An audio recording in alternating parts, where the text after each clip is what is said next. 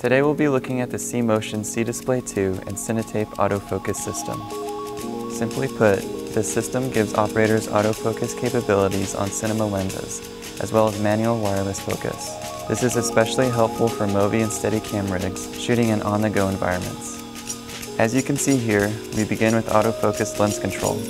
As soon as we press the toggle button, manual focus overrides autofocus. Toggle back and again you have autofocus.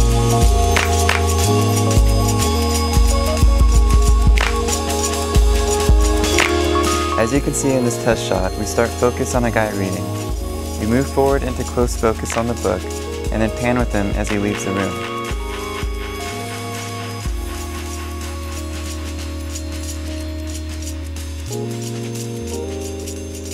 As he enters the next room, focus racks to a girl in the distance and remains sharp as her and the camera move towards each other.